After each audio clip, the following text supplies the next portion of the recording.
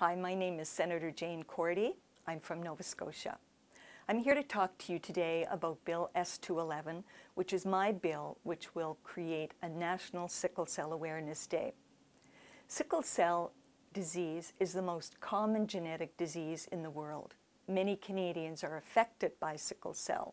Some are carriers of the disease, and some have, have the disease if, in fact, both parents who are carriers pass it along to their child.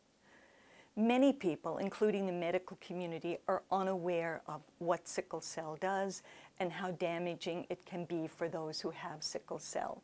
It is my hope that by passing Bill S211, that Canadians become more aware of the disease and that take steps to help those who have sickle cell.